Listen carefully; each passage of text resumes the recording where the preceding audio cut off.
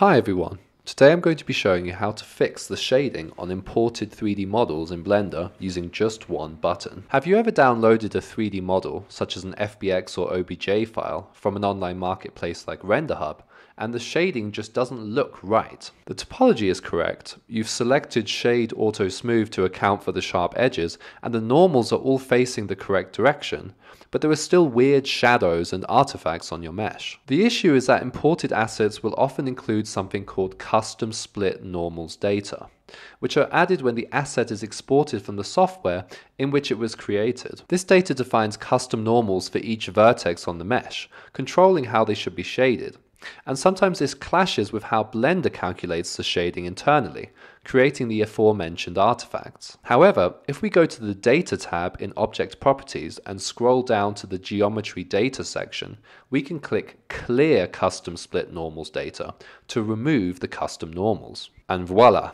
our shading is fixed. Thanks for watching and happy rendering.